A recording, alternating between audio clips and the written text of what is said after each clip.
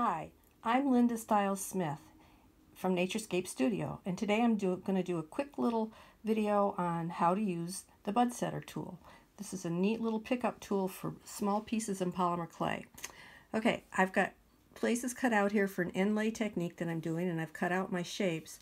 What this tool is good for is that you can take it and spear the side of the sh shape of the clay, flip it over, and lay it back in here.